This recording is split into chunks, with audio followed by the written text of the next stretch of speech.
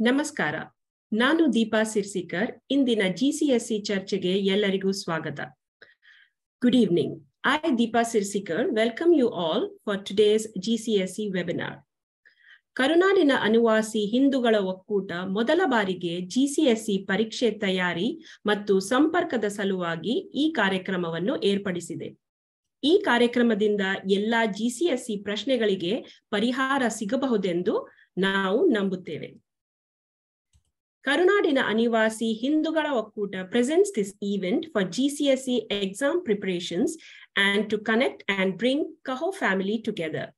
We hope this session helps to prepare a lot of questions and confusions that parents and children have.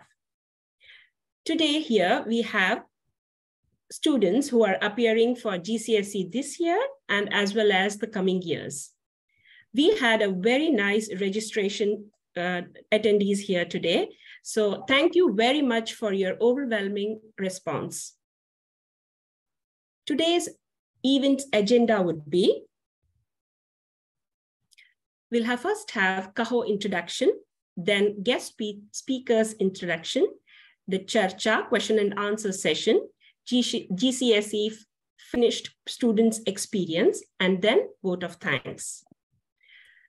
Before we go ahead, let's have a look at webinar etiquettes. Please keep your audio mute and video on. During the meeting, the audience will be placed on mute by the host. That means you will not be able to mute or unmute yourself. Please share your questions in the chat window and click on the gray raise hand button. This will signal to the host that you will be providing a public question or comment and you will be added to the list. Please note that this event would be recorded. We suggest getting a pen and notebook to record useful informations.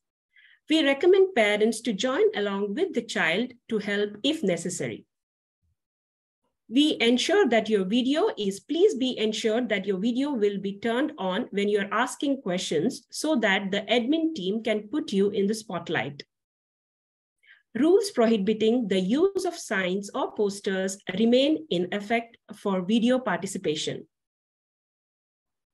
We also request you to re rename your Zoom login with parent name hyphen student name and your city.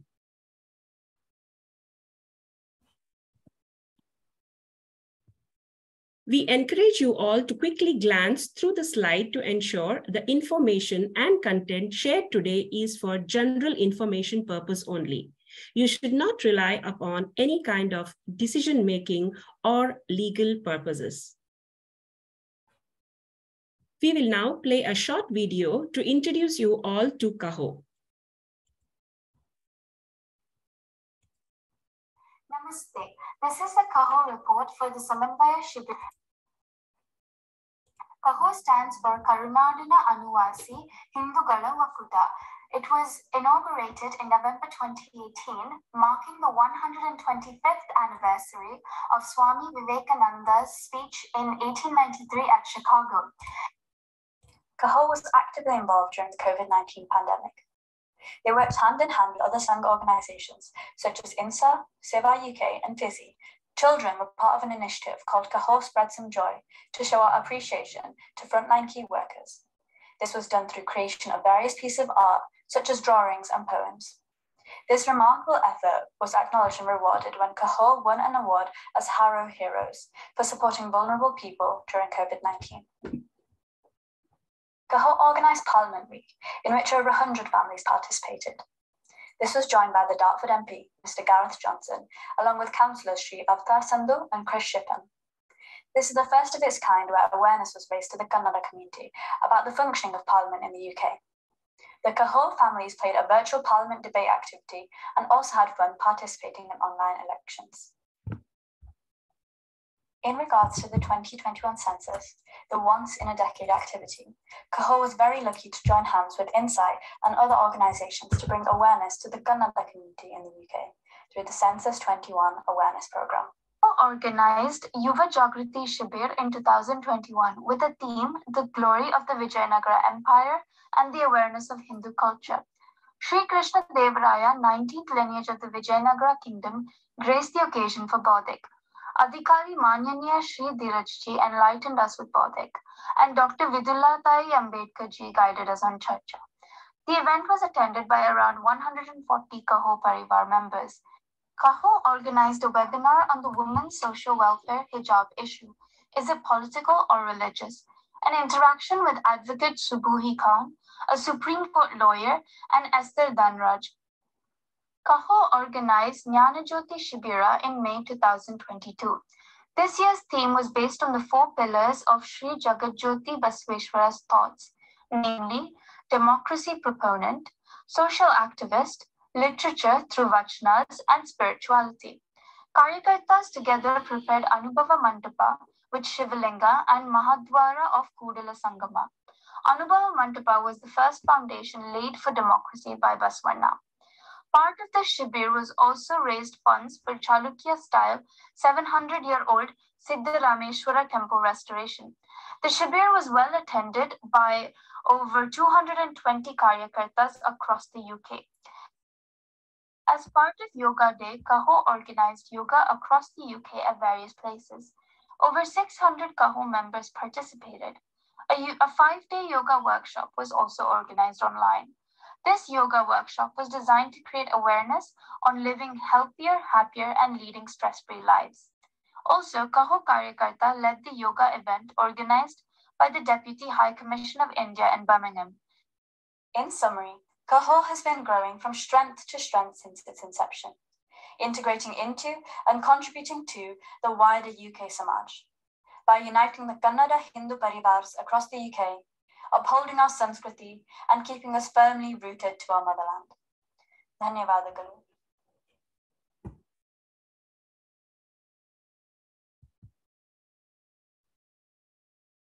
I would now like to welcome and introduce our guest speakers.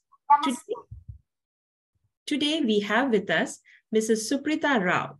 Mrs. Suprita Rao has achieved Masters in Software Engineering from BITS Pilani, her postgraduate certificate in Education in Computing from the Institute of Education, University College of London.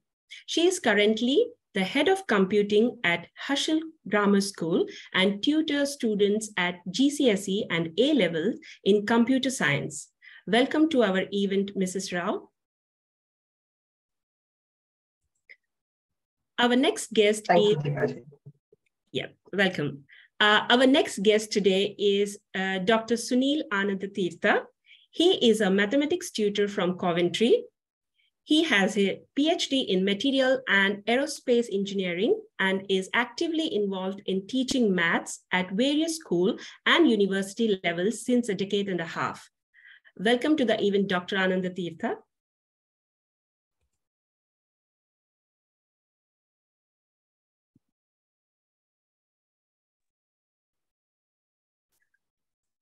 Our next guest for today is Mrs. Sadia Sai. She has done BA Honours in English from Royal Holloway University of London. She is a teacher of English and also a literacy coordinator. Welcome to the event, Mrs. Sai.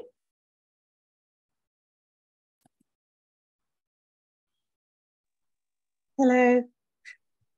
Welcome. Welcome.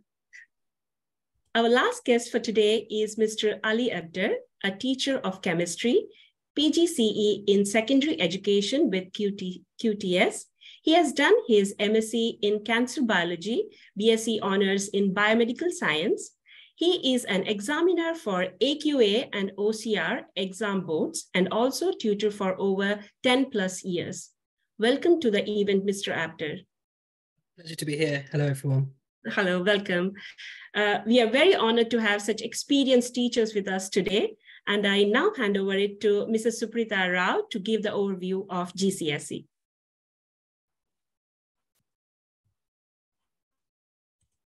Thank you very much, Deepaji, and uh, welcome to everybody to this Charcha session today. Before we start, I would like to just give a very brief introduction to what GCSE is, for those who are um, unaware of this or are new to the system or have moved from uh, India newly and want to know what GCSE is all about. So what are GCSEs? Uh, GCSE stands for a General Certificate of Secondary Education.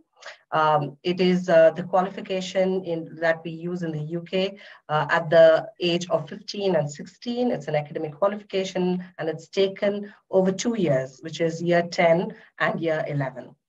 Um, the, G, the GCSEs in the UK is a linear qualification. I'll tell you more about what a linear qualification is in just a little bit, but they're intended to give a very broad foundation of knowledge uh, that will prepare for further study, such as A-levels, BTECs, apprenticeships, and IB diplomas. Um, it is actually compulsory uh, to take GCSEs in English, maths, and science, which we term as the core subjects. And alongside this, we do uh, allow students to take up uh, exams for optional subjects, which we will learn about in just a little bit. So next we understand what, uh, what do you mean by exam boards? So in, in the UK, we, we operate um, the GCSE with AQA, CC, uh, CCEA, OCR, EdExcel, etc. These are different examination boards. So for those of you who have studied in India, you will be aware that we, uh, we either do SSLC in Karnataka or regional boards if you're from other states. And uh, we call it just the 10th standard. But when we come into the UK, we do it over two years. And at the end of year 11 is when we sit this GCSE exam. Now the exams uh, are, are basically accredited or they are, uh, uh, they are given to you by one of these boards that are mentioned on the screen to you. Now, the most famous ones are AQA, OCR, and EdExcel. So Pearson operates under EdExcel banner. And in Wales, it's a little bit different uh, with the Wales Joint Education Committee um, uh, using the brand as Eduqas. So the typical age of a child when they take up GCSEs in the UK is between 15 and 16 years. And it uh, usually is conducted in the month of May. So a child is typically about 15 and a half years or by the time they take their GCSEs. So when they uh, finish their GCSEs and move on to the next level, which is also called as the A level, uh, we call that as post 16 because anything after 16 is when they uh, do the rest of their qualifications. Next slide, please.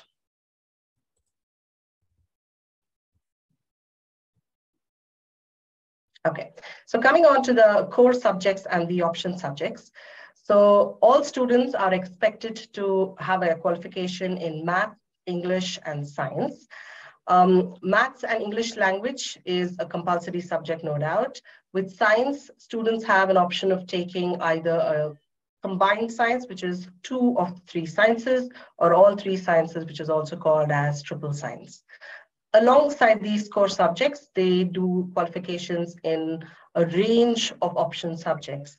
So when I say modern foreign languages, it could be in Spanish, German, French, Tamil, Punjabi, Bengali, it could be a range of subjects.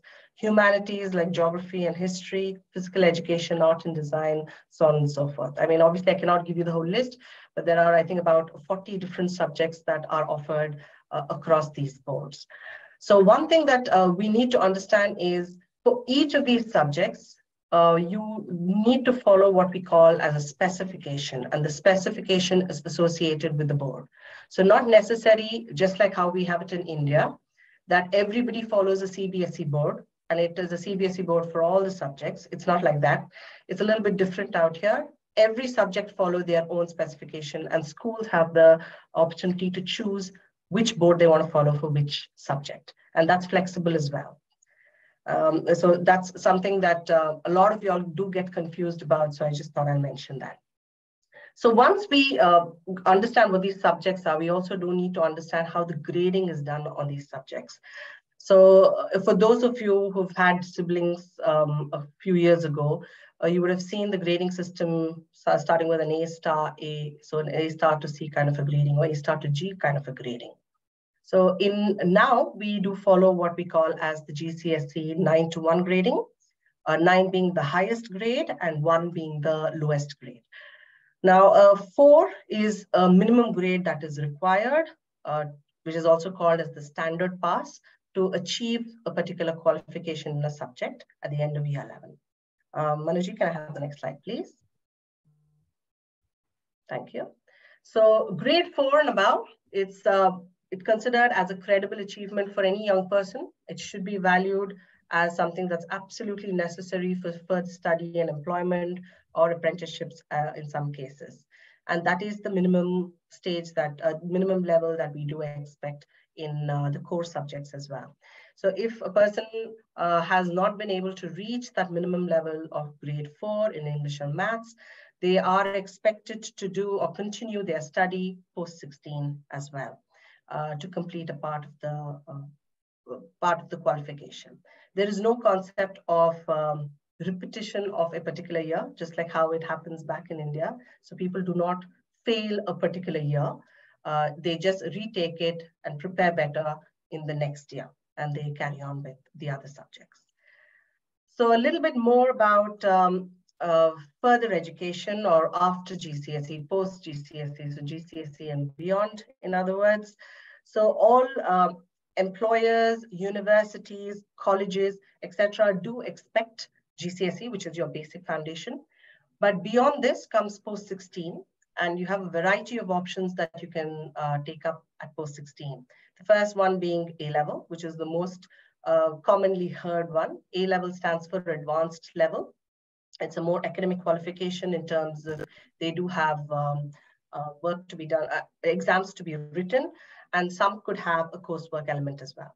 BTEC is a Business and Technology Education Council, and these are qualifications at level two, level three. Uh, level three is equivalent to A levels. It's just that it has more coursework elements in it rather than an exam. So if, if a student is not very comfortable taking up um, an exam, uh, they might want to choose to take up a BTEC. Or if they think they're, they're very good at something vocational or they want to go the vocational route, BTEC would be uh, your way to go. IB diplomas are uh, international baccalaureate diplomas, which consist of usually about six subjects, which we will find out a little bit more uh, in our Charcha sessions as well. Apprenticeships, uh, apprenticeships are basically uh, you, you learn whilst you work. Uh, there are level two, level three apprenticeships, and you can also get, on, get to doing your uh, degree apprenticeships, which is level four, five, etc. So there are multiple routes beyond GCSE, but um, the least I can say is you need your qualifications at the GCSE level, especially in maths and English, which are your core subjects, to go beyond. Um, with this brief introduction, I think I would like to actually um, open up to uh, our Charcha session. And uh, I would actually like to ask my very first question to Mr. Abda. Okay, so uh, Mr. Abda, I'm sure many of us out here, me included as a parent, uh, one of the questions in my mind is um, with the GCSEs around the corner, how can you manage students and parents stress alike? What's the best way through that? Okay, so I did actually prepare a few slides, but I didn't get a chance. That's fine. I'm just going to go through it instead. So I think key thing coming up to the exams is so fast approaching now around the corner. Um, I think it's important for I think to have a plan between the parents and students is really important. I think there needs to be some sort of organization and a system in place in order for the student to follow. Um, and I think knowing when the first exams are and having sort of a, a system in place really helps the students to um, you know, A, have a plan in place to support them with their studies, and B, for the parents to also keep track of how they're getting on on on their on their own as well. And I think key thing is, you know, communication to school is important to understand like what the exam boards are, so you know what the specifications you're following. Um, and I think just making sure that you are ticking off as you go along everything that you've covered to have like a good system in that sense to follow up with what's been done and what needs to be covered. And I think, um, and in terms of techniques, I think everyone's a different learner. So one of the things that I always say to students is when you go to a, a lesson, the lecture or the session in class, you take less than 10% information.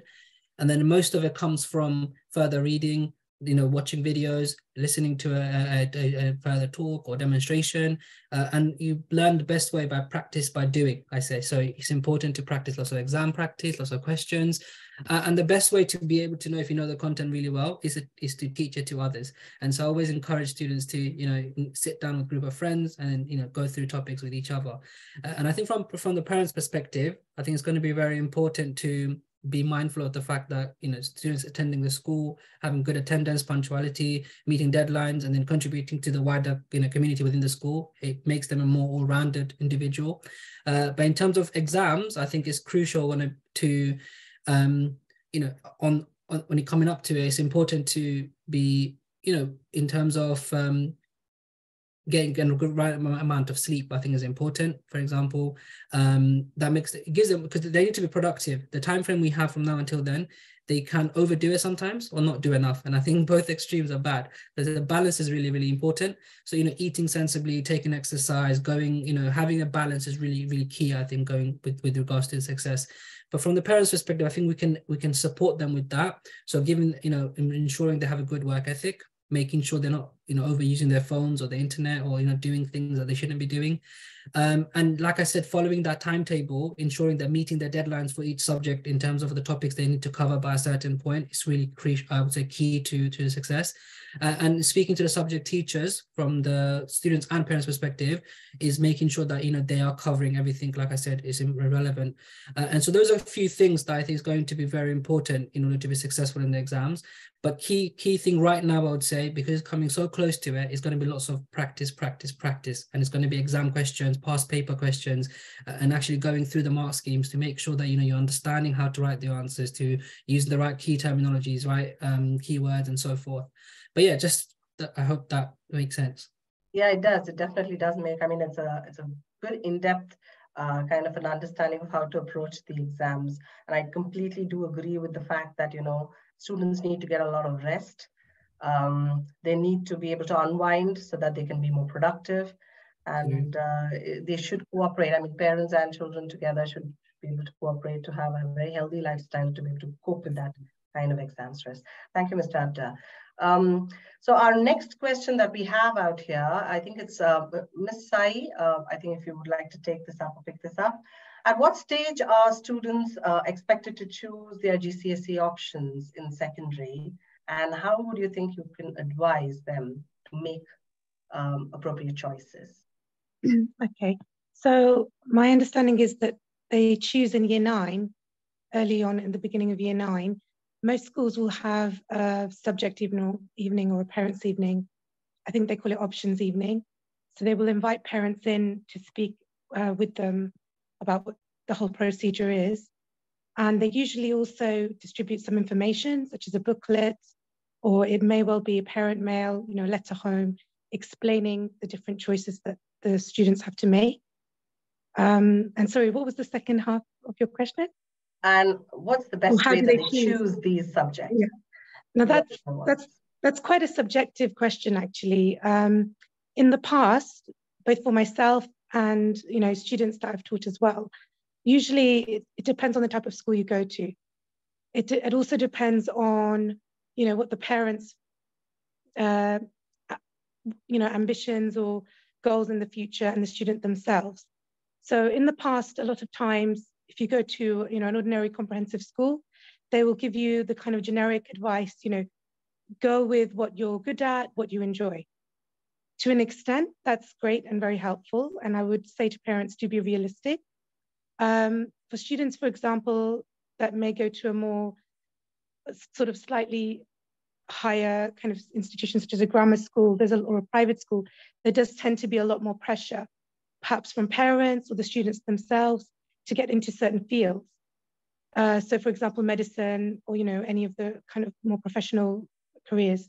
So they may have different aspirations for their child, in which case, sometimes I've seen a mismatch occur where a child, for example, has a real passion or love for the humanities. Um, and, you know, perhaps they are not, you know, this is, they've tried everything. And even then, perhaps they are not able to achieve um, to this the very high standards, sometimes unrealistic standards, to be honest, that parents and they themselves may have. And their teachers in those subjects, so for example, technology, science, may actually even be gently hinting that perhaps they don't want to take this up. You know, they could do it for GCSE, but maybe not put so much pressure on themselves um, where they excel in other subjects, you know. Um, but sometimes the pressure is just so much that they find themselves a little bit stuck and having to take these paths. So again, I would say, you know, we spoke about stress earlier, students during GCSE. I would say I think parents need to be a little bit understanding and realistic. We all want what's best for our children, of course we do, but we have to understand that they have, you know, there's a, a wider well-being that's very important, you know.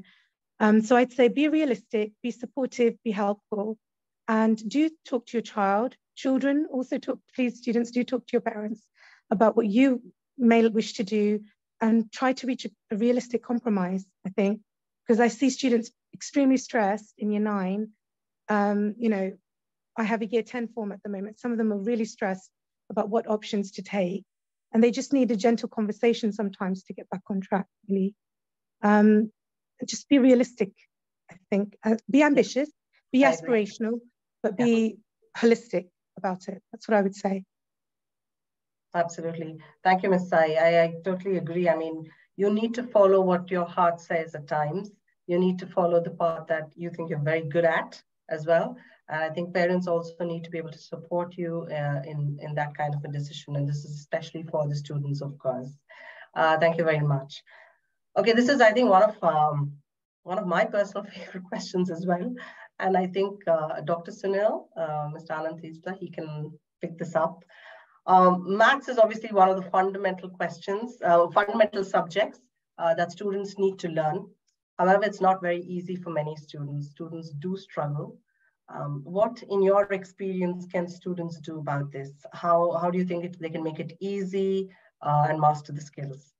Well, thanks a lot uh, for this question. It's a wonderful question. It's very, very relevant for all the for all the students and the parents as well. And uh, before I start off, you know, like I would really like to thank all the organizers so that um, bringing us all together on the same platform. It's going to benefit the parents and the students a lot. And also thank previous speakers and Dr. Ali Abdar and Dr. Sahi for your valuable comments. And I think they were very, very important and then extremely valuable for everybody. I would like to, uh, you know, like uh, build upon some of the points that you have already mentioned and then provide uh, sort of a scaffolding approach where you are uh, the number one thing that uh, students and the parents need to do at this moment, for example, is basically when you have exams coming up fast soon, so like that, you need to strategize. Without a strategy, uh, it's not going to be fine. You need to strategize where is your point A and where is your point Z. So you need to find out which are the intermediate points you're going to be visiting and you're going to be spending time at, and then you're going to be mastering or you're going to be revisiting or you really relearn them. The number one thing that you have to do, and for example, I'm going to do it in terms of two sets of answers. One is for the people who are going to face an exam very soon, and one is the, for the uh, for the set of students who are going to prepare a bit later on in their lives, probably one year down the lane, right? For example, the, the first set, uh, you really need to um, find out what are your strong points, right? Once you find out your strong points in mathematics, first get all the fundamentals perfect. Without the fundamentals, it, it's not an easy task to prepare for mathematics. Fundamentals, fundamentals, fundamentals. So it's a triple F solution. Number one is fundamentals, and then is application of these fundamentals to the problems or these concepts that you're already very, very well familiar of. Make 100% preparations in these concepts and is, for example, if you're strong in algebra, make sure that you're very, very, very, very good in algebra. And then once you're so confident, use that confidence sort of, sort of, sort of like scaffold yourself higher and higher in the other concepts, right? You don't start off in all the concepts at once. You start off in one concept, you build your confidence and use that confidence for other topics as well, so that you can use this kind of a strategy within a very short, limited amount of time that you may be having. And not just that, you should also be focusing on topic-wise questions that you have already having in previous exam papers and also the mock papers. For example, if I take up some question papers from 2015, for example, I look up what are the questions that I am having from algebra, where which are my strength points. So when I am very confident that I can solve all these questions from algebra, from these question papers from 2010 until 2022, there is no better kind of a confidence sort of a preparation that I could do rather than this.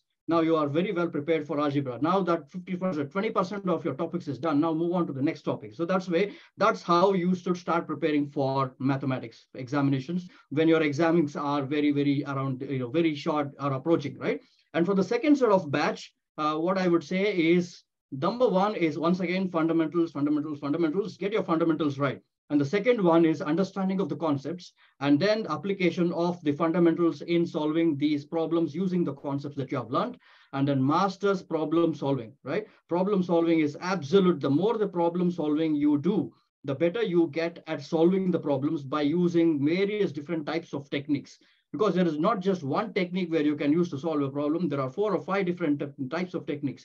There's a technique technique that you need to follow for calculator exam and a different type of a uh, technique that you can follow for a non-calculator exam. So you have to be well versed in these. When do you get to well versed in all of these? When you are rigorous in your approach.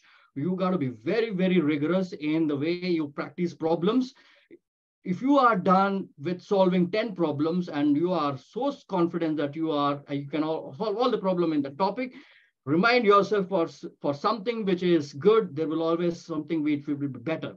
So for a complex problem that you know how to solve, there will be a slightly more complex that you are going to be facing. So you should be always prepared for the higher level. So the more you pre preparations you put in from your efforts and time, the better you get. So, but with all these things trying to scare away the parents and the, and the students, one good thing is that you got time on your uh, uh, on your side and strategy on your side. And as other previous you know um, speakers mentioned about the strategy with respect to the parent and the child conversation, making this as stress-free as possible is absolutely key. The more stress you get, the less efficient you become.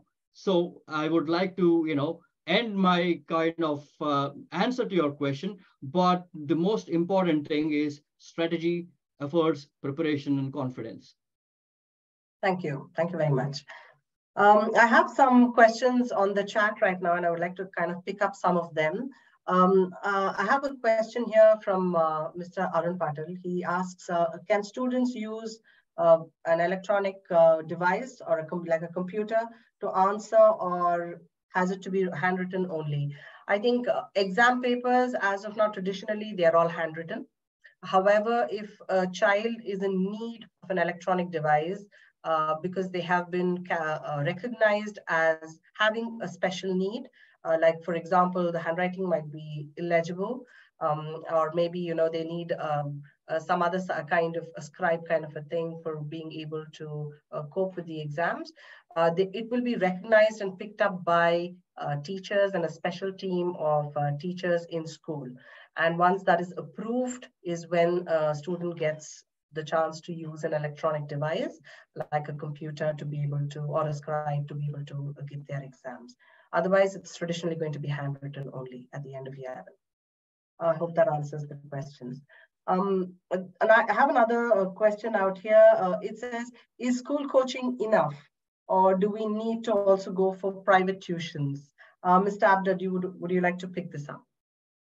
Do you think it's enough to be with school coaching or do you think students would require more?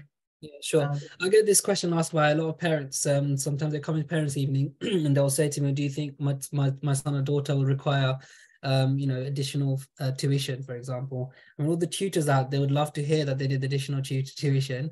However, I think you have to be be basic. You have to base it on your uh, individual uh, child's need. And the best thing to do would be to get them to do a past paper, for example, get them to mark it themselves, or you mark it, for example, using the mark scheme, and see what percentages of marks they're getting. And if they can actually look at the mark scheme and see where they've gone wrong, and they can actually rectify that mistake themselves, or by looking at their books and you, you open book, let's say, and checking it for themselves, and they can do that, that's great. However, you'll find that there are some subjects, especially the sciences, they um sometimes by looking at the scheme, it's not quite clear. So it makes it difficult to actually know how to answer that question. And I, I, assume the same will be with maths as well, where some methods will be different. And so sometimes it's quite difficult to understand how they got to the final answer. Uh, and in that sense, it does come with some help with the guidance from an expert who they'll be able to, you know, straight away tell you, well, this is where you're going wrong. And this is how you should have written the answer. And this is another way you could have done it, for instance. And it gives them a wider uh, reach in terms of answering that particular question. So to kind of in short to answer that question, um, in some cases, I would recommend to have a tutor, especially towards the end of, I would say, when they come into their GCSE exams, like this year, if you're in year 11, it really helps with coming, know, exam techniques uh, coming with uh, you know coming to terms with how to approach six marker questions for example. It really helps with you know this if the if the tutor is able to give them strategies to model their answers. Uh, and it gives them that additional bit of support i would say to stand out from the rest of the crowd. And so yes definitely with help i would say uh, with uh, but in year seven eight and nine i don't think it's necessary to have a tutor because a lot of the support from school is available uh, and it's not necessary to to to take any additional support. However some people do choose to do that because it keeps their child in check and it allows them to you know do extra work outside of school and it kind of means that they're well prepared for the actual GCSEs in in, in plenty of time in hand and so uh, my personal recommendation is you don't need it for 7 8 and 9 but maybe in year 10 and 11 depending on the ch uh, ch child's need thank you um, uh, I have a question here from uh, Shubha Rao. Uh, she's asking, is it possible for a school to follow, say, AQA for one subject and OCR for other? Uh, yes, Shubha Rao, you, it is definitely possible. Um, all schools have, they follow different specifications. When I say specification, I'm talking about boards. So they could have um, an Edexcel for maths, they could be having OCR for science, um, AQA for computer science, etc., etc. So you could be having different specifications, different boards being followed for different subjects, and it differs from school to school. So it's a totally um, a decision of the school uh, to choose whichever board they're going to. So when your child gets into the GCSEs, uh, it's best to ask their teachers what board they're going to follow for the subject. Uh, pull out the specification, it's available online, um, and then go through the specification to know what content they need to know or they should be studying. I hope that answers your question. Um, so I have another question. Uh, are the marks taken in year seven, eight, and nine considered for any part of the GCSE grading? Uh, Ms. Sai, would you like to pick this up, please? Sure. Um, as far as I'm aware, no. So how your child does in year seven, eight, and nine, for example, in my subject English, um, that doesn't necessarily affect uh, their GCSE score, but depending on your school, it may affect um, what group they are put into. Uh, so setting, for example, some schools have different classes. So for English in within one year group, they may have five different um, five different sets. So set one being the top set, for example, where students need a lot of challenge and stretch.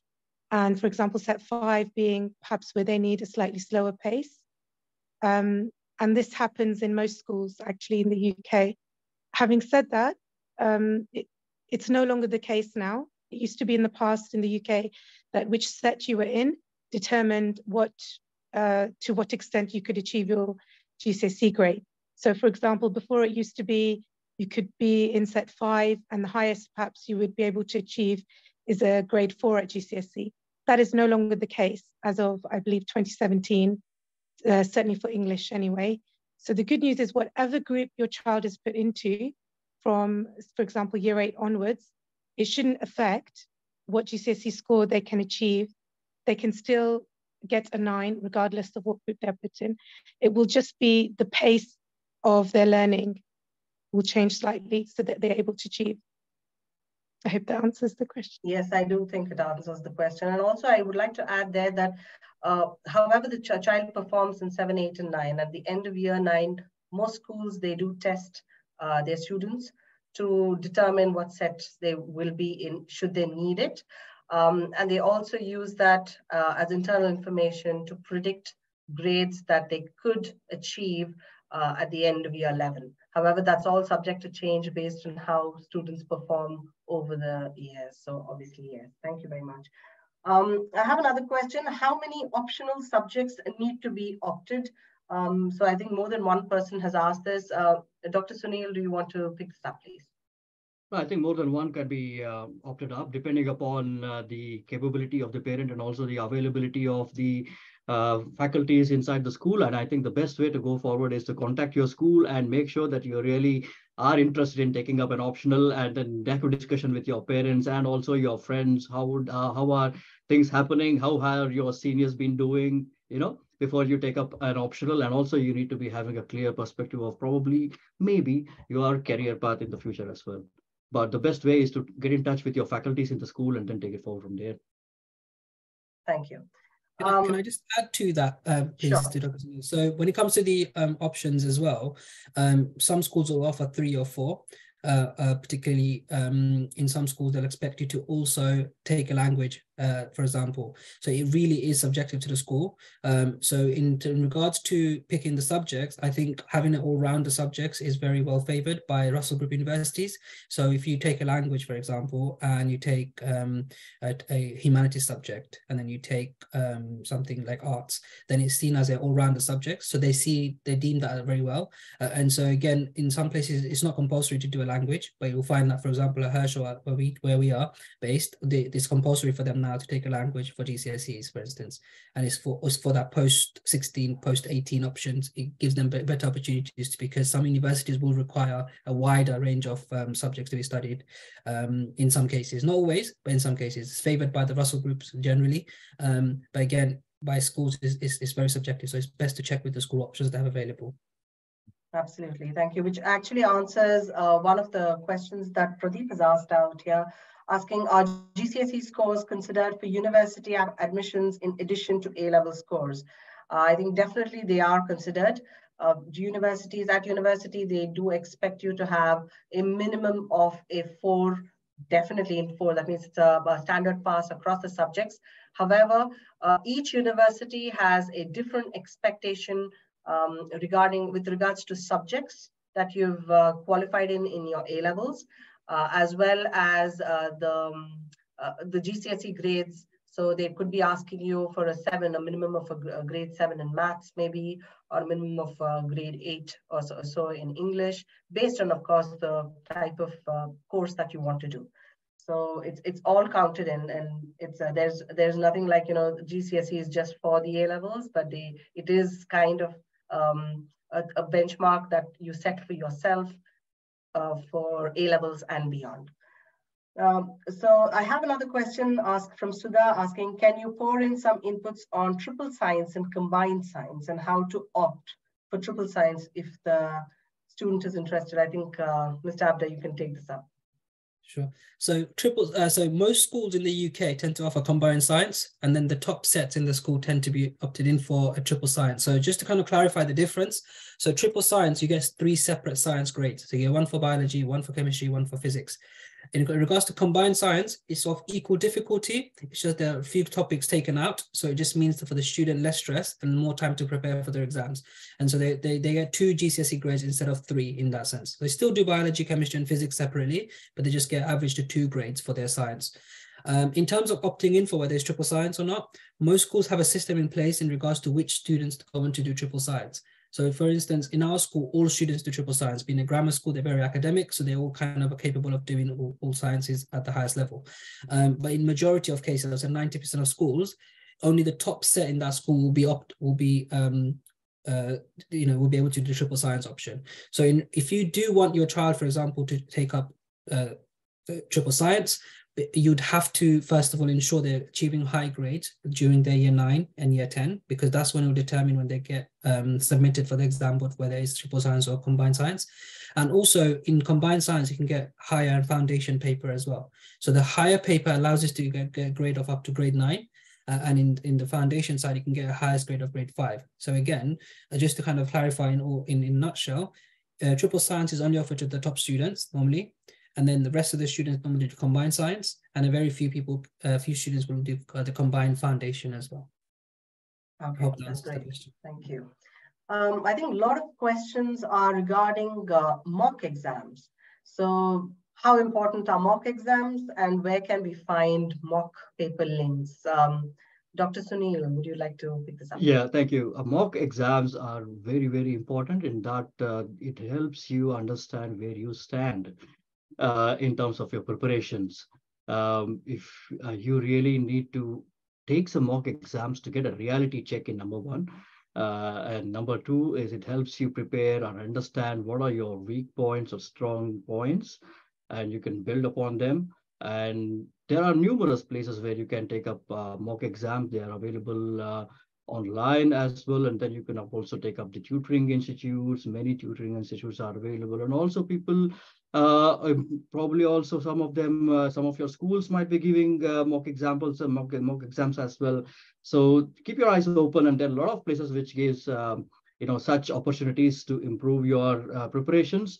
But overall, what I would say is um, use these as a sort of uh, uh, reality check and then um, building up on what you have already prepared so far and make sure that you have already covered your ground before you start taking up mock exams. Okay, thank you very much. Um, okay, before we have, we listen to one of our uh, ex-students, so uh, one of our year 12 students who would like to share their experiences with us. I would uh, like to just pick up one uh, other question before that. Uh, how does it impact your GCSE results if the pupil scores low in languages? So is, uh, is there any way in which we can improve our language grades and is it very important? Ms. Sai, would you like to take that up, please? Thank you. Sure. Um, I'm assuming they mean modern foreign languages yes, or English. Yeah. I think both. I think both. Yeah, possibly both. Yeah. So what I usually say, I and I do have some experience in this actually because I did do French uh, GCSE and A level. And at GCSE, I also took Urdu um, and at A level, I took it as an optional extra. Uh, my advice for students, whether it's for English language, French, you know, Spanish, German, you need to immerse yourself in the language. So at the start of year 10, you will already know you will have chosen whichever language you are going to take up if you've chosen a language, you know, depending on your school offering that option. And it's really important that you understand if it's not a language that you are already speaking at home, you know, with your parents, then you need to really immerse yourself in it. So, what do I mean by that? I mean, what you're reading, what you're listening to, even the news you are watching, you know, um, even the entertainment, social media things that you're using, they, you need to try and go more towards the language that you're studying, really. Um, if you can, even, you know, visit, for example, if it was French, if you can go for a short visit, if you have relatives there, or, you know, if there's any way you can go and visit or speak to native speakers, even within the UK, take any extracurricular clubs. So your school may offer, you know, lunchtime or after school, French club, for example. Um, do it and take every opportunity really that you can to speak that language as much as possible and to listen to that language. That would be my advice, really. Okay, that's good. Thank you. Okay, so now uh, we have Adi Kamath, uh, a year 12 student who would like to share his experiences of his GCSE years and his um, his exam experience uh, overall. So Adi, if you're around, hi, welcome. Would you like to share what you think and what you thought and your experiences, please? Thank you. Yeah, sure. Um, so um, I took my GCSEs last year, and especially for my year group, it was a very difficult year due to COVID. We had a lot of inconsistent teaching, uh, for example, and uh, also we had a lot of uncertainty whether exams were going to take place or not. Uh, as a result, uh, we I had to find ways of getting around those issues. Uh, so I think my parents really supported me quite a lot uh, during that period. Uh, I asked them for resources. They would uh, get me the resources they could, so I could uh, revise effectively. And speaking of that, there are specific methods of revision that people like as well. So um, in terms of revision, uh, it, it, different types of revision suit uh, different people. So, for example, I don't really like flashcards. That's not really my sort of thing, but others like flashcards. My main thing was uh, blurting out information, past papers, and mind maps. Because with mind maps and uh, blurting out information, you could build quite good summaries of uh, topics and you can compile information very easily and past papers. Past papers will work for like anyone pretty much because past papers are the only way you can perhaps practice exam technique and also revise knowledge at the same time. It's a very efficient way of doing uh, your own work. And speaking of uh, efficiency, it is very important to be very disciplined across. And throughout uh, throughout year 11, I was very uh, disciplined. I knew when I needed to study. I knew when I needed to, you know, press the brakes for a bit as well. And that's another important thing too. Uh, during my exam period, I would often, I had, um, in fact, many people have done this who I've spoken to. Uh, I'm also a culprit of this. We sort of um, uh, underestimate how much time we have, or, or overestimate how much time we have. So, like studying, it only took up about 30% of my time as a whole.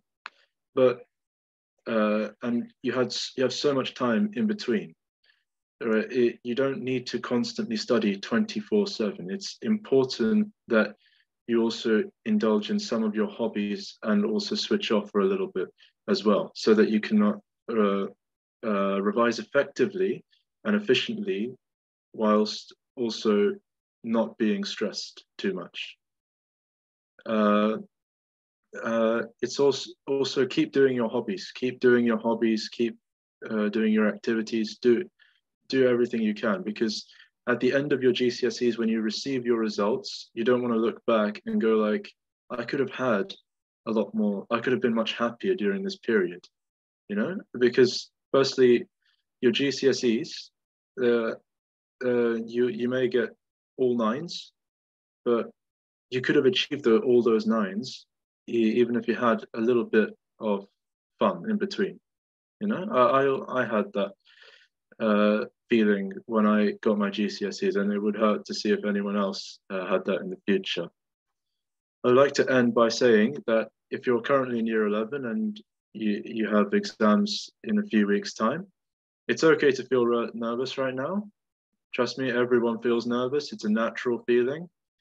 Uh, but I would also like to say that the nerves, they'll only be there just before the exam. Once you start, they'll all go away and you'll calm down for a bit. Right? Best of luck Thank to you, Adi. Thank you very much. I think very well said. Uh, very good piece of advice. Thank you so much.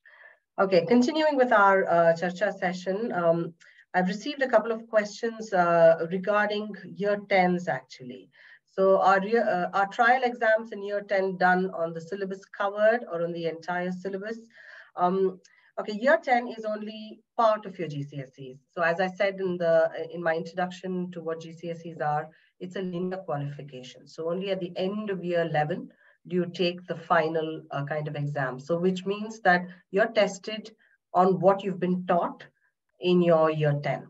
So there is uh, there is no set teaching order.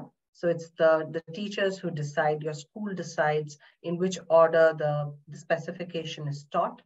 And um, uh, you will be questioned in your mock exams. When I say your mock exams, your school conducted mock exams based on what they have taught you that far, I mean, in, in year 10 so far. It's only towards the end of year 11 uh, or mid of year 11 when you are having your mock exams for your final GCSEs that you might be considering the entire specification being tested on that. There's also another question uh, regarding uh, CGP predicted papers from Amazon any good or um, are the past papers better? Um, would you like to pick that up, Mr. Raptor? Uh, yeah, sure. So um, yes, so past papers are the one of the places to first of all to find past papers without having to go and buy the CGP stuff. Um, the past papers can be found on the exam board's website. They have previous past papers under the past papers and materials section, which also have the mark schemes to go with it as well. Um, and the CGP one, they're just an ex external third party publishers who make these really good revision guides and workbooks. And now they've started to do these um, predicted papers. Um, and they are good. They, they try to mimic the exam papers and they are useful for practicing at home. Uh, and so if you have done all the past papers from online that's available to you for free, and you feel that you know the student can do a bit more, then I would say yes. But I feel like there's already plenty out there on, on various websites online, which are accessible for free, which are just as good or better, if anything. Um, what the CGP papers are just doing that they're taking past paper questions from these different sources and putting it together themselves, and then they're selling it on uh, for additional practice. So yes, it's optional, but um, uh, like I said, the past papers from the exam boards available are just a, there's a plenty there to do already. Thank you. And just Thank to you. add to that, just before, so sometimes we, uh, uh, as Miss Rao mentioned about the current GCSEs now being linear, the previous ones are the what we refer to as legacy GCSEs or modular GCSEs those papers are still useful for practice as well.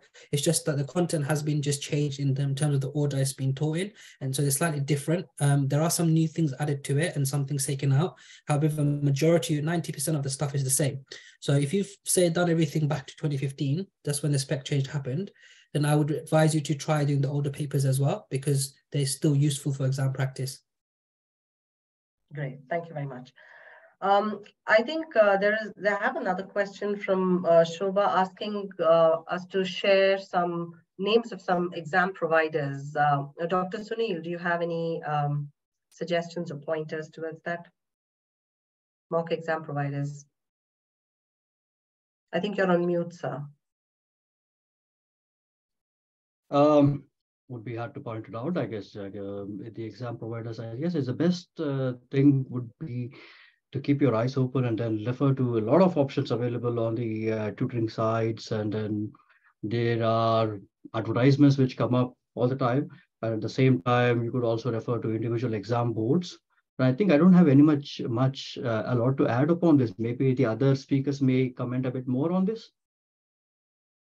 So just to pick up, is this to is this to suggest that they the places where they can do a paper uh, like uh, mock papers and externally to school? Is that correct? Yes, that's so, right. Yeah, so one popular one that uh, there's there's a branches of them. I think it's called Cherry Hill Tuition. They're also an exam center, so they they have optional. You pay to take the to, to take, for example, optional mock exams externally. Um, the other ones would be like things like Tutor Doctor or um, uh, there's a few others. I, I have to find the names and I can I can share. It's no problem later. But yeah, generally the bigger centers who are like tuition centers, but they're also an examination center. They offer external exams to be taken um, through them. Uh, also schools. So if somebody who's retaken their exams, schools are an examination center. So people can go back to their original school if they're retaking, for example. Uh, and so it might be something that you might want to um, if, uh, find out about. It depends when you want to do it. So if you're in year 10 and you want to do external exam, chances are your schools are going to already conduct exams that are going to be mock exams. But if you want to do additionally, I would say like something like Cherry Hill tuition, for example, that, that come, I've come across during my time that people tend to go used for additional exam uh, mock exam setting. Okay, that's great. Thank you. Uh, I have another question which had come up on um, in our registration. How do you prepare for the English subject GCSE exam? I uh, and I think even English literature, which I'm sure a lot of you all would uh, would find it a bit overwhelming. Ms. Sai, would you like to pick that up? Sure. Um, I just wanted to add something to what Mr. Abdur said. So specifically for English language and literature, I would say that it's not uh, necessary for parents to go to uh, tutor centers. Um, what they would need to do is uh, the student themselves can go online and find a past paper or a mock paper. And uh, for example, one of the exams is two hours and, and 15 minutes long. And all the student would need is a parent to set an alarm and make sure that they are in you know, a quiet atmosphere at home without any distractions. And the student can sit that exam. As soon as the alarm is up, do not give them any extra time. And they can then take that paper. And I'm sure I'm not going to be very popular with any local uh, English teachers in, in saying this, but you can you have the right to go and give that paper to your English teacher or your English department and ask them to take a look. Maybe they will have time to mark it fully, maybe they won't, but they can definitely give your child some feedback. And that is within your rights as parents. And your subject teacher will want to help your child to improve. It's within their best interest also. So before you go to any tutor centers as such, if it's only to sit an exam, an extra mock, you know, for practice, I would recommend that you do as much as you can at home for free and ask your subject teachers as well, um, you know, for any advice they may give you. Um, sorry, may you, could you repeat, Ms. Rao, the question currently? How do you prepare for the English GCSE exam, especially okay. English literature maybe? Sure. Well, obviously, um, those who are about to take their GCSEs soonish, um, I'm hoping that they would already be prepared. But um, the main thing now with literature is that you do not take books in with you, which I know the students will be aware of. So you need to memorize your quotes. So you will have, for English literature, you will have at least three texts, for example. So in our school, we, there's two plays. So we have Macbeth and Inspector Calls, and then there's a 19th century novella, which is Jekyll and Hyde. Those texts will be different depending on what exam board your child is, is taking for uh, English literature. So that's dependent upon the school, it's subjective. Um, and because they cannot take the text in, they need to memorize quite a few different quotes because they don't know, although they can use past papers and you know mock exams to predict, it, it would either be on a character or a theme. So for AQA, for example, it's a character or a theme. But for other exam boards, such as Edexcel, it might be um, you know, a more kind of form, for example, question, question geared towards form. So it really depends on you knowing your exam board, speaking to your teacher, knowing which texts you are going to actually be taking English literature, which you should know by the beginning of year 10. And then actually using all the different resources that are available to you. So nowadays you're so lucky as students, you have YouTube, you have things on Spotify, you have, you know, all sorts of quote raps and things that to make it fun and entertaining. And you can actually be revising using those different methods. Um, I know that the student who spoke previously, uh, did, he said that he wasn't too fond of flashcards. Um, so use a method that you know will work for you. You know, you can use things such as, um, I'm trying to think now, uh, there is a, a, really good, my mind. There is one on um, one app called Quizlet. Yes, so you can use you. Uh, you can use that as well, and then can yeah. give you all different types of games in there to recall your learning and stuff like yeah. that. So there, there, are multiple resources. I think kids know better than the teachers, to be honest. Yeah, there's Seneca as well for the basics. You know, I think some yeah. schools subscribe to that or not. So that's for literature, but for language, I think language. If you know your literature, you already have a, good set, a good basics really again, English language is almost the way we teach it at our school. Certainly, it's almost a science. There's a bit of a formulaic way that to get into English language. And at GCSE, both subjects are important, literature and language. But if you excel in language, um, it's almost considered, you know, better or higher, you know, well, more well respected for your language grades. So on CVs, for example, and for universities, if you have scored maybe say a five literature, but you have a seven or above in language, they will be still look upon taking you into their uh, into onto their course. And the same for career prospects. They will look at your English language and also your speaking and listening grade, which is separate. Great. Thank you very much. Okay, I have a couple of um, uh, questions out here. One asking me, uh, is a student allowed to write the GCSE exam twice once in year 10, another in year 11, and try to get better marks than year 10? Um, actually, uh, if I could answer that, I mean, I'm sure uh, the other guests can also add into this. First of all, the GCSEs need not necessarily be taken only in year 11. Um, they can be taken much, much earlier, provided the child is completely ready. But it's obviously advisable that the child takes it at a certain age because they would have developed the confidence and the maturity to give an exam and take it up as seriously as possible. Uh, but anything that the school doesn't directly apply for you at the end of year 11, I think needs to be done privately. You can approach your school exams officer and ask them if you can take up the exam. However, it's going to be more of a private fee rather than the school doing it on behalf of you uh, automatically, which happens. And yes, you are allowed to retake an exam as many number of times as you wish. Uh, but as I said, it will be a private uh, retake rather than the school sponsoring that particular retake. Um, th there's another question. Um, Can I add a bit to the same point that you said? Yeah, I think there is another uh, thing where uh, probably if you are not happy with your grades, and then there is a provision for you to appeal for your grades yeah. as well. So you can make a request and you can find that information on the government website as to how to appeal. You could make, but there's going to be a slight fees for it, but you apply for it and you wait for it and then hope for better marks.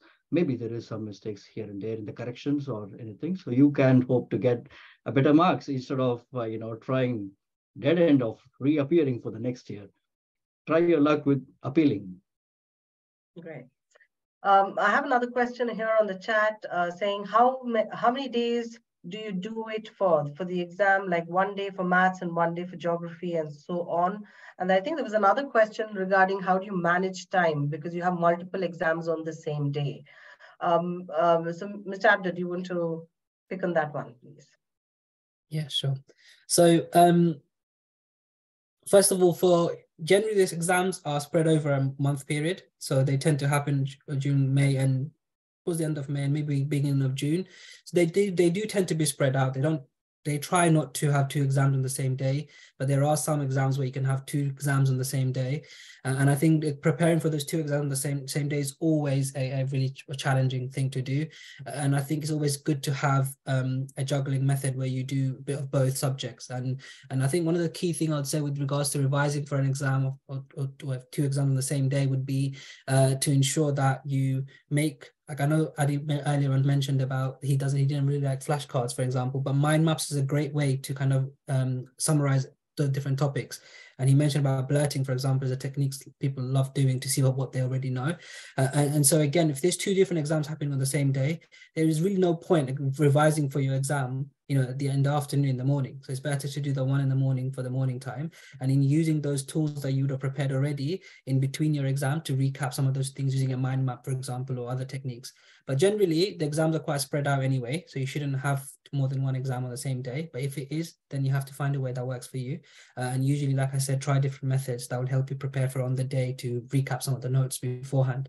Um, and the, what was the other question? Sorry, I think it was. Um, both the questions were pretty much the same. So they say that like one day for maths and one day for geography. How do you yeah. kind of space your revision cycles maybe? Yeah. How can uh, you manage that? Yeah, so I think in regards to the way the exams are spread out, I think um, it's really important that you you start with a like i said earlier on about a, a, revision timetable. And i think knowing when your exams is very important. And so setting aside a time for each subject is crucial. So don't accommodate all the time to one subject. So um, try to you know uh, the one way i do it is normally i say do one hour of let's say subject a followed by another hour of subject b have a break and then do subject c. And then so then once you've done this is obviously outside of school by the way. So this is like saying in the afternoon. So then there is obviously time you need to sleep and everything else so it's important to accommodate, let's say, uh, time that's relevant. So in year 11, at this stage, I would say you need to really push, you know, go put, put, put your foot down and really go for it. But yeah, so one hour, I, I would say two hours a day would be really good. And then towards the end, when you, when it comes to that close to the exams, um, I, I think you would just be, it'd be beneficial to just start with the exams that you have first to recap notes for and then follow it up as you go along because sometimes there's a gap between let's say paper one and a paper two. So then you have plenty of time like a week or uh, maybe 10 days between some of them. And so you have all the additional 10 days to do the additional revision for paper two. Now um, so it's really important that you like i said have that plan in place within your revision timetable to accommodate equal time to all your subjects and not focusing on just one subject. Because what we find i can say for science is normally is um, especially if you're doing triple science science, sometimes people accommodate so much time to one of the sciences and not to the others. And then you end up getting three very average grades um, and one very good grade and two other like a lower grade. And so it's really important that you accommodate equal time to all your subjects. And that's why I think the timetabling method really helps to accommodate equal time to all your subjects. And then obviously in GCSEs, you're having to juggle between 10, 11 subjects. So it makes it really, really challenging. And so this is where parents can, I think, support the students to help them devise a, a system that works best for that stu student. And I would also say, try different techniques. And everyone's a different learner. Some are audio learners, some are visual learners, some are kinesthetic learners.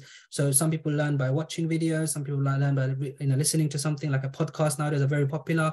Uh, and then you know, um, as Miss Sai mentioned earlier on, like there's so many good resources on YouTube now since the lockdown. Lots of professionals, teachers, ex-students who have come up and made these really nice visual videos on things. Watch those in your own time. That really helps.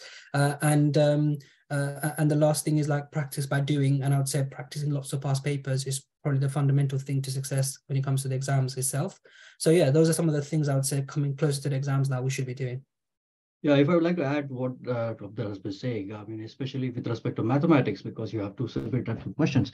Like um, the way to prepare for, uh, say, for example, non-calculator type of questions in mathematics is basically you give some importance to your mental mathematical skills and uh, how well you could visualize things is very, very important. But when it comes to the actual exam duration, when you have some, say, for example, a week behind your exam, it's better to have around two or three cycles of your revisions, or rather, say, of uh, preparations.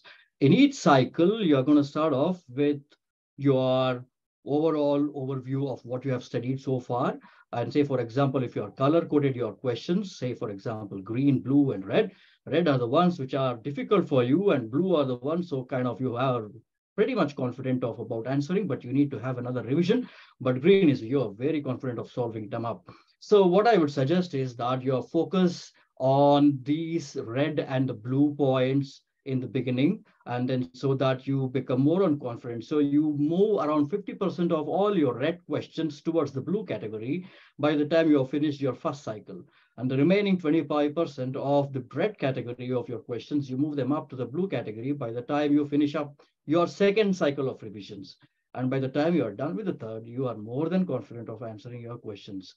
So you should always have a strategy of how you could look at, and especially as already uh, always have been, uh, everybody has been saying, uh, there are many different ways in which you will be learning. Choose the one which is most preferable to you. Have a stress-free environment. Make sure that you will use the time that you have and then do not be overwhelmed by what you have in front of you. That is one common mistake which I see all the places every student does. I am overwhelmed by so many things to do within a period of six days. Uh, do not be overwhelmed uh, have a strategy for the first two days, you finish up with 25%, next two days, finish up with 25%, and then start solving up. And then you've already solved question papers. You look at all the muddy, muddy points in your question papers and also exam papers. You prepare. That is the time when you prepare for confidence and not learning. You're not learning any new concepts in the exam period. You're only focusing all your efforts in building up your confidence.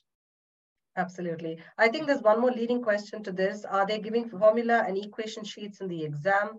In my daughter's school, uh, they said they will give. So there are some, uh, yeah, there's some of them they do offer, but it depends on the school and the board, I guess. And uh, and also, I guess um, not all formulae need to be memorized in many cases. Uh, but I would rather say that uh, more than memorization, it should be another case of understanding. If you really understand a concept, you can make up a formula on the spot. But uh, it needs some a lot of preparation from your end, whether it is formula or not formula. I would rather uh, put the onus not on the information being provided to help the students rather than the info. I'll put the onus back on the student on their preparations and their background preparations because you really need to expect uh, at the GCSE level, let's expect um, slightly a bit more about ourselves uh, to know the formulas as at least. And then what happens if you are given a formula and you don't recognize the form of the formula, right? So it's better to know about the formula and the expression that you are going to be using in your exams rather than relying on the exam board to provide the formula for you.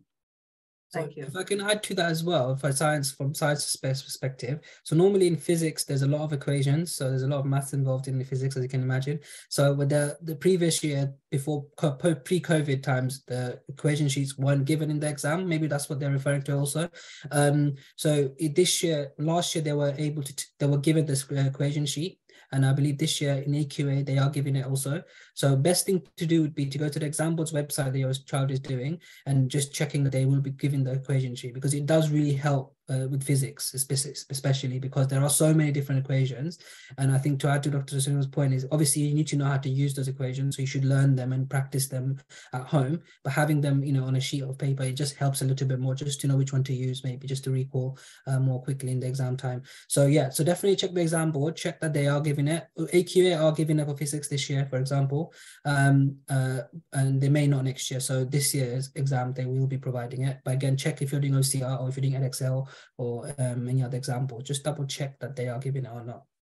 Adding on to what you said and also all the points that we have discussed so far, and I think just like we have a mental map or a mind map of all the topics for preparation, it is also helpful, for example, in, in physics, for example, and also in chemistry and maybe in mathematics as well, to have a mind map of all the formulas, right? So uh, um, the more you are in sync with your preparations, the better the mind map of the formulas and the equations become. Because many of the many of the cases, what happens in physics and chemistry, if well, consider physics, for example, if I give you f is equals to ma, uh, then what is more important along with just the formula is and the using uh, capability of application is that the units that you are using all right so there are not just the formulas and uh, providing the units and stuff like that. You really need to know certain background of information about uh, you know um, say be using a formula, for example, you will not be using only one single formula to arrive at an answer.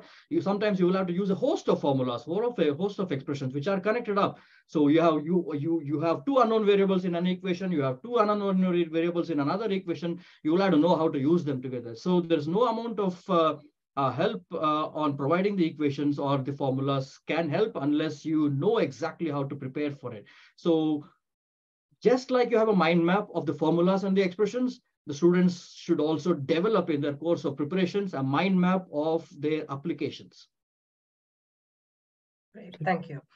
Okay, now I would like to uh, request uh, Shrujana, Shrujana Naik to actually share her experiences uh, of the GCSE years. Hi, Shrujana. Hi, namaste. My name is Shrujana. I did GCSEs last year. And so for me, it was an interesting experience because I'd started them during the time COVID had just we opened schools was opening. I was starting year 10. So for me, it was quite interesting because at first it was hard to get from the summer mindset to like starting GCSEs. So I found it tough at first, but as the months went on and I got used to my like the work I was doing, I enjoyed it more. So it wasn't it's not going to be as bad as it seems. It might be scary, but it really, as long as you put in the effort and you're comfortable with what you're doing, you'll be fine. So I chose my subjects in year nine. And the way I did it, I chose ones that I enjoyed, first of all, because you're going to be doing them for the next two years. So it's important to make sure that you do enjoy them because then you'll be more likely to revise for them when it comes to the time to revise. But I also chose ones that I knew I'd be able to do. I didn't choose like I like astronomy, but I didn't choose the subject because I didn't think I was going to put the effort in and it wasn't practical for me to choose. So what I chose in the end was I took history, computer science, Spanish, and art. Art being like a subject for more of my passions. Um, so yeah, when it came to year 10, at first, the one thing I would say to do is to definitely keep make sure your notes are done and filed safely. So then you don't have to go back and redo your notes because it gets really hard to like go back and waste time trying to figure out what work you've done. Um i also made like simple flashcards on the way simple things for like biology especially where you need to know a lot of content just to make sure it was like in my brain for most of the time then. Um but yeah revision for me was different for each subject because each subject was just different in its own way so, for example, history, I'd actually like speak timelines to my parents. I talk about what was going on in terms of in which country, what was going on, like what events were happening. And so that way it stayed in my brain as a story. And then I was able to like remember it easier. For things like sciences, um, doing oh, okay, and things like sciences, doing practice questions, um, learning content from summary sheets you can find online if you don't have your notes, for example. Putting things on flashcards, that was important. Maths, I would do practice questions like regularly. Um, so I took two or three topics a week, did practice questions on those. And then when it came closer to the exams and especially mocks, I would start doing papers because then what happens is the exam boards will give you similar questions each year, but just with different numbers. So if you have practiced questions before, you'll be used to the style. And so when you're in the exam hall and you're writing the papers, you won't be as panicked because you'll recognize kind of like what you're meant to do for each question, which is useful and it just lessens nerves at the time. Um, and in terms of breaks, what I do for me, I was lucky. I chose art. So my breaks would be I would start doing my art coursework so I'd listen to music and just be doing art, and that would be like my kind of break, as well as doing like extracurricular activities. Then, um, other things I would also do is having having like a support system. So for things like English and stuff, I'm not as confident as English as I am maths, which I'm doing right now for A levels. So I would ask my teachers like which kind of words to use. Um, I remember that in year 11, our teacher, I was lucky, our teacher really encouraged us to give us our own practice essays and that she would mark them and give us feedback. So definitely ask your teachers what to do because they they will they will want to help you. Your parents people around you, your friends, teachers, department heads, they will want to help you get the best grades possible. So definitely ask them for help whenever you need it. It's just important to do that. Um, other things I would say to do would be to like, what else? I think coming up to exams, definitely have everything ready, but don't revisit or redo notes because that is a waste of time. I, I can tell you right now, redoing notes is a waste of time. If you need backup notes, the internet will help you. Like there's a site called Physics and Math Tutor. They have a lot of questions on their Math Genie. Like if you search it up, you will find a lot of questions online. Um, I would just do those. And yeah, I think one more important thing to me is that what I learned was even everyone's revision schedule is different and to not compare yourself to other people. I knew people who were doing so much revision hours and hours every day because it worked for them and other people who did nothing. And i'd be like what's wrong with me? Like what do i need to do? Then i realized as long as i find the schedule that works for me and like the and the um practices that i can do to make my exam like experience better is what is important. It doesn't matter what other people are doing. As long as you stay true to yourself and you're working hard and still maintaining like your mental health, physical health, you'll be fine. Um, coming up to exam periods, I would say definitely timetable your like schedule or like put block in your hours for which is which. Um, I think I learned as you go on, if you block in the hours, then you're more likely to do them than if you just say you need to do this. If you're, I would checklist everything I needed to do for that day. And then when I ticked off, I would feel good because if I ticked off, I'd done an activity for a day. But yeah, um, remember that it's, these are important exams. So definitely work hard, but also just stay positive because if you put in the effort, you will get the grades you want. And you should just maintain that cheerful attitude to your work. But yes, thank you. Great. Amazing. Uh, very well said, Shrujana. I think uh, spot on. I think you've said it so beautifully. I think it should definitely motivate all students taking up their GCSE exam. So before we wrap up today, I would like to actually uh, answer just one um, question for, um, I think, uh, Sudha. Sudha has asked, in India, answering a question would be points-based. For example, four marks, six to eight points. How do students approach questions here for four to six markers? Uh, Ms. Sai, would you like to actually take that up and then we can all pull in for, uh, for science-based questions as well? Okay, that's actually a really good question because um, we mentioned earlier English language. And for AQA, for example, English language is tested in two papers. So English language paper one and English language paper two.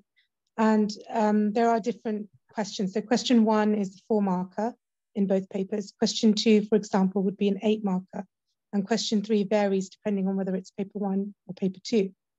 Uh, by this time, the year 11 students will be quite familiar with uh, both papers, um, and they should already know, you know, the different composition depending on the exam board. If they have, you know, uh, used online revision guides or they have revision guides, physical ones at home, those will also tell you which question and how many marks it has. But the biggest thing to help you for a four to six marker, I think, in my knowledge for English, is using models and using exemplars, ones that your teacher has given you, and knowing exactly how uh, your school is approaching. So in your English, your English teacher, for example, how do they teach you to approach that four to six marker question? English is quite a subjective subject. So you will even find within one school, within one department, if there are, for example, five different English teachers, they have a slightly different approach and each one has their own, you know, sort of skill base. So don't feel that you only have one English teacher to your um, to go and ask. Ask your head of English, um, and you know, get as much enlist as much support as you can from your department. That's your right as a student, I would say again. So it really does depend on your exam board. Uh, for English language particularly, I think having models and exemplars is very important as well. So um, your teacher should have already done this with you in school, uh, def definitely in year 10 and building up to year 11 as well. So you would should have actually already gone through the format in school, step by step for each question. They should have given you live modeling or done, you know, shared modeling with suggestions from the class and then taking them and actually showing you physically on the board or typing it or via Teams. So you should have a whole sort of pack of different examples for six marker questions, 12 marker question, and section B, the second half of both English language paper one and English language paper two are quite important. There are 40 marker questions. So most of your English language GCSE is taken up with the second section. Now that 40 marker question, if you follow the exam paper and you actually take it in chronological order, you will actually be at your most tired.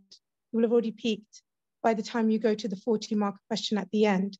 So I actually recommend to my students to go in fresh, maybe do question one, which is the four marker, and then go straight to your uh, section B, which is your 40 marker, because it, it can actually become the deciding factor for your grade. So I hope that helps, and I'm happy to take any yeah, questions. It does. It definitely does. I think I would just like to pitch in a little bit more about uh, sciences and uh, even computer science, where we do have uh, four to six markers. In fact, we have nine to 12 markers as well um, as we head to A levels. And the, because they're more technical subjects, um, uh, it's, it's, it's very different in the way you're going to approach them. Uh, so as I say, there are there are three different types of questions in most of these science questions and uh, maths as well, which are the AO1, AO2, and AO3 type of questions. So your AO1 type of questions are more knowledge-based. I mean, your definitions, state, identify, those kind of questions. They're easy marks. Your AO2 kind of questions is more understanding based. So you just need to probably apply a formula. You, so you know your formula, you apply the formula, you get your answer. Simple stuff like that, which are again, two marks, three marks kind of questions. So the longer kind of answers, they do expect an evaluation angle to it. And that's why they call it the AO3 uh, questions. Now, it doesn't, it doesn't directly um, match up to saying six marks, six points. Rather, they would kind of look at probably three different paragraphs, each point mentioned in a comparative style in every paragraph. And where you would apply uh, the techniques that you learn in English, which is your peel technique, as they call it, your point, your evidence, your example, and then you link to it. But obviously with more technical um, uh, te technical stuff in it. So the meat is it the technical bits in it. So uh, it totally depends on the kind of question um, so you have to demonstrate your knowledge, your understanding, as well as your power to evaluate, which is compare uh, to that kind of question and answer that to get maximum marks. I hope that answers. Mr. Abdu, do you want to um, jump into that one question too? Because I know sciences has a lot of it as well. Yeah, so I'll be quick with this one. So science is um, the if they're one marker, two marker, three marker, or four marker, they tend to be a point per mark. So every point you make is a mark. If it's a six marker question, then they're they're known as level of response question. So they're graded by level one, level two, and level three. So level one would be like one to two marks, level two would be three to four marks, level three would be five to six marks. They're also known as quality of written communication questions or QWC questions. So this is slightly different to the other questions. So the way they work is your answer has to be logical. It has to be answering the point to the question, relating it back to it every time. Uh, and also it's not marked per point here. So it's based on your response to the question. So based on how you've logically sequenced your answer and whether you've actually made your points clear and if it would lead to a, a, let's say, scientific outcome at the end. So if your answer is a bit illogical or it's a bit all over the place, place and it doesn't really make fully sense, you don't get a lot of marks on it. So usually students don't do very well on those questions. And that's why we try to give them model answers. We try to give them uh, a support where how to, you know, scaffold their answer, for example. Uh, and so it's really important, I would say, for the six markers, is just practicing lots of them under timed conditions, because technically you, you, um, you should be spending just over a minute per mark. And what happens sometimes with the six marker is they give a lot of space and then the students just go on and on and they kind of di digress from the question and ends up talking about complete, something completely irrelevant. And so best way to do it is, and also to kind of um, add to that is it does say it has to be written in full sentences. So it doesn't necessarily mean you can't write it in bullet point form. It just means that you have to write in full sentences. Whereas in other questions, you can probably just answer with one word, for example. Um, but here you do, it does require you to write in full sentences. And they also take into account spelling and also punctuation and things like that, because that there's one additional mark for that normally. So you get five points for whatever logical answer you've made and one additional mark is for logical and um, correctly spelled terms, um, and just making sure that you actually reach your final outcome. So that's just that science angle on it. Thank you. Thank you very much. Okay, I think uh, yeah. I will hand over to Deepa. Deepa ji. Uh, just wanted to give one minute on oh, yeah, uh, the sure, same sure. the same Sorry. point from the perspective of mathematics. Yeah, sure. Uh, you know, in mathematics, the way it happens is okay. For example, you're going to get marks for methods and also for the numbers of the answers that you get. Uh, right? Uh, you're going to have method marks and also get the accuracy marks, right? Uh, and accuracy marks depends on how well, how clear or how close you are in your numbers from your answers to the expected answer, that is accuracy marks. And you will also have dependent marks. So for example, if you have a linked question in a four marker, a four marker have a, where the answer to the second question depends on your answer on the first question then even though you might have got your first answer wrong, your second answer, you still deserve a chance of getting marks for the method that you are using. But however, you may lose on the accuracy because your number may be wrong.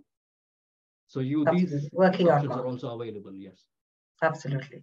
Thank you. Thank you very applies much. To, that also applies to just to say, just for maths in um in science. So the numeracy in science, for some reason, when it comes to the element of maths in any science subject, the students don't do very well on it. And usually it's because they don't show all their working. So what they do yeah. normally, they just do the calculations and their calculator and put the final answer down. And then That's they get the answer wrong, but then they've lost all the method marks. So I would advise all the students here to make sure you show all your working as you're going on, going through the question. And even if you make a mistake, you'll get error carried forward. So if you made a mistake in one part, you might get the next marking point. But if you don't show any of the working, you get no marks. So just always show your working. Absolutely. And I think the same thing applies for computer science, which is part of sciences as well. Absolutely. Um, great. I think uh, we've had um, a fantastic discussion with all our guests. Thank you very much from my side as well. I'm just going to hand over to Deepaji. Over to you. Uh, ತುಂಬಾ ಧನ್ಯವಾದಗಳು ಸುಪ್ರೀತಾಜಿ you did the session so very well. uh, I thank everyone here for uh, uh, being here and uh, i'm sure this was such a in, very useful session for everyone i so very wish it, there was such session when my elder one was starting gcse but still i feel this was more useful because i have one more child to go for gcse uh, so as we come to the end of this today's uh, event I would now request Mr. Manu Gowda to present the vote of thanks.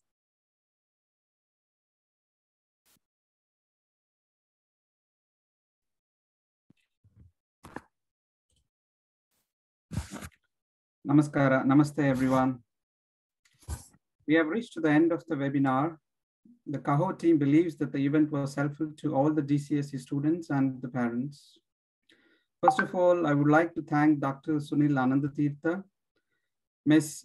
Sadia Sahi, and Mr. Ali Abda for kindly accepting our invitation. Your valuable time and presence helped, uh, helped to clarify the number of questions that our children and parents had. Thank you so much for being here with us. I'd like to thank our own Ms. Suprita Rao for accepting our request and being our event moderator. Your guidance helped to put this event more structured and make it successful. Thank you, Supritaji. I'd like to thank all the children and the parents for joining the event. On behalf of KAHO, we wish you all the best for your exams. We encourage you to adapt the valuable inputs you received from the event while preparing for your exams. Those who are new to the KAHO, please join our WhatsApp group and follow us using the social media links shared in the slide. We wish you all the all be connected in one or the other way through the KAHO platform.